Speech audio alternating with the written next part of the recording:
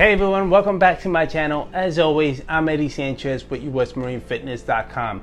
Today I'm going to talk to you guys about intensity. When you go to the gym, do you feel like you're intense enough? Do you have enough intensity? Well, that's what I'm here to talk to you guys about. Well, there's a mind muscle connection. Like when you're working out, if you see yourself just going like throwing the weights around, that's not definitely not the right way to do it.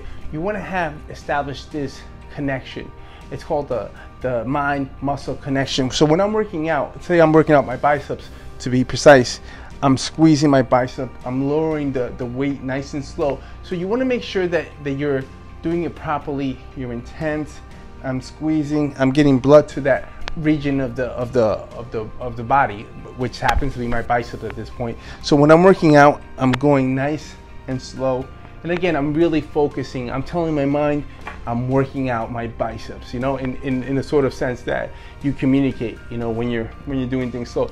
Remember, like Arnold once said, when you're doing things, you're, you're kind of like sculpting your body. You're like a piece of clay. So working out is kind of like sculpting your body and you want to make sure you sculpt it right. This is not going to get you anywhere. You want to keep it nice and intense. Again, you go work out, you can do anywhere from 30, 45 minutes, hour if you're crazy but um, make it intense. Don't just go there, bullshit, talk to people, get cold. Do what you're supposed to do, okay? Anyway, I just wanted to drop a real quick tip to you guys. Um, let you guys how how I attack the gym. You know, I'm, i go to war every time I go to the gym. You know, just a little insight of how I think.